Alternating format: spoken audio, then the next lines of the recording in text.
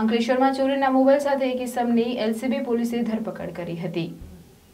બનાવની વિગતો અનુસાર ગત સત્યાવીસમી ડિસેમ્બરના રોજ પાનોલીના લુના કેમિકલ નજીક મહિલાના હાથમાંથી બાઇક પર આવેલા ગઠિયાઓ મોબાઈલ ઝૂંટવીને ફરાર થઈ ગયા હતા.